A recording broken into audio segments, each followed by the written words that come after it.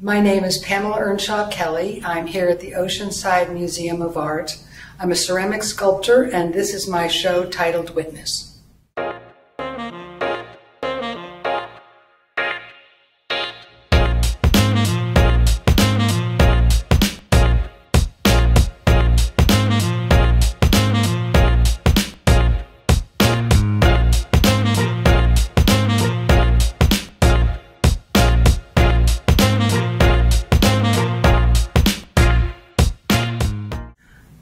Was inspired to do this series, or actually all the work that you see in the show, um, using animals as subject matter.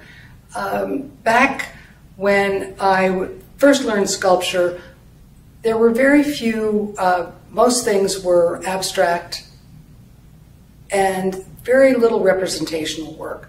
So I was looking to do something that A, interested me, that I could connect with on a expressionistic kind of emotional level and uh, that I hadn't seen before.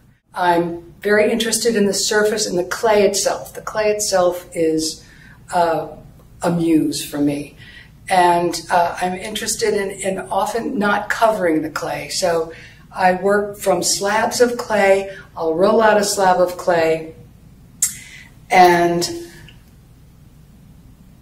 I learned that if clay has its own language, if you bend a, a, a, you know a slab of clay back on itself and then open it back up, you'll get a whole series of patterns. This whole um, uh, kind of map of interesting things that happened. I would then incorporate, learn to use that language, incorporate it into the the sculpture essentially by using that slab, engineering a way to get it to be upright, and then pushing from the inside to create the form. This show um, is unique for me in that it's the first large show I have had here on the West Coast, showed for many years on the East Coast. Um, it's also kind of a retrospective. This is about 20 years of, uh, of work. Uh, I mean, obviously, it's not all the work I've done, but it shows uh, different uh, uh areas of exploration for me. It's, it's, it's important to come here to the museum, first of all, because it's a wonderful museum, and there are many very number of very good shows right now. But specifically for my work, sculpture, you really need to see it in three dimension. You need to be able to walk around it.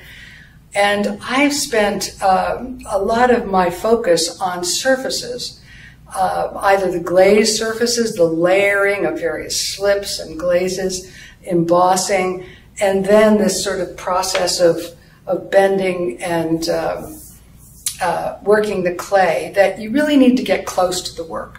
So it's, it's one thing to experience it from afar, and I like to, to think that it just gets more interesting the closer you get. And you, you just, you know, it's difficult to experience that other, you know, any other way than in person. Also scale. I think that particularly with uh, ceramic sculpture, people seeing a picture of ceramic sculpture, they tend to think that the work is small. My works generally, as you can see, are quite large and it gives a different impact. So I think it, you know, just very important to see the work and I hope you get to, to uh, you're able to come.